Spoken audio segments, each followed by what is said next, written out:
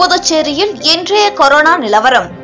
புதுச்சேரியில் இன்று புதிதாக தொண்ணூத்தி நாலு பேருக்கு கொரோனா தொற்று உறுதி செய்யப்பட்டுள்ளது. இன்று குணமடைந்தோரின் எண்ணிக்கை நூத்தி எழுபத்தி ஒன்று.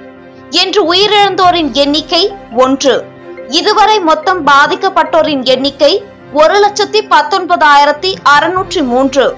இதுவரை கொரோனாவுக்கு பலியானோரின் மொத்த எண்ணிக்கை ஆயிரத்தி எழுநூற்று எழுபத்தி ஆறு. கொரோனாவை தோற்கடிப்போம். நன்றி வணக்கம்.